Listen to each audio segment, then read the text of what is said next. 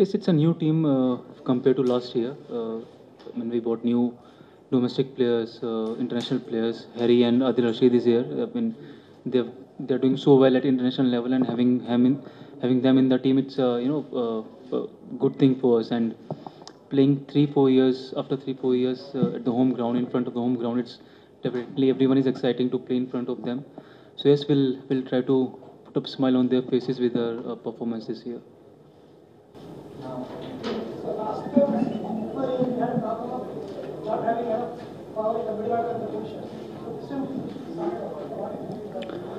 I think it's sorted out. Uh, I still believe that uh, on paper team doesn't matter uh, if you don't perform well at the ground. Uh, but I think impact player rule is gonna sort this thing out, uh, you know, uh, at the most.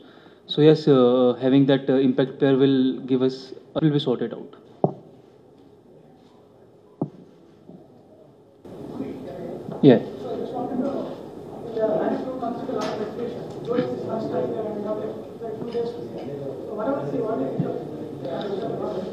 I think so far he's looking solid. Uh, uh, I mean, you can make out that he's been scoring run, runs uh, for his team.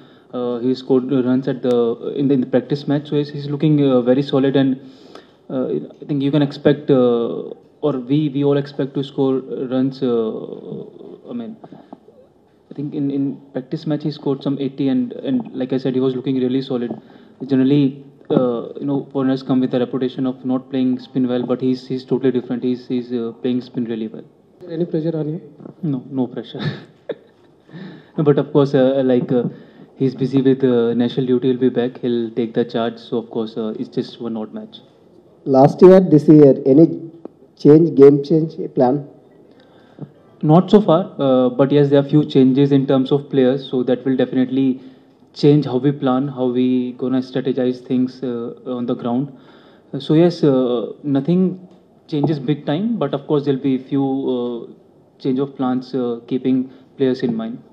First match, you won the ground. And uh, what do you feel?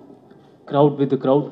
So like I said, it's it's we all are excited to play in front of the home crowd. I mean, they have supported us through thick and thin. They have seen us lifting the trophy or not qualifying qualifying for the playoffs. So yes, they've seen uh, us through through everything. So yes, uh, uh, very excited to play in front of them. Just what about the bowling unit? You have seen Umran Malik, lot of people giving it, experience that for and you really, that are the, that's the combination. How is I think bowling unit is really experienced. I think the youngest one is Umran, and he's also experienced. He's playing for country. He's played for Sunrisers last year. He did well. So yes, I think as a bowling unit, everyone is experienced. Uh, everyone is preparing well. It's just you know uh, matter of time just to go out there and uh, you know execute the plans.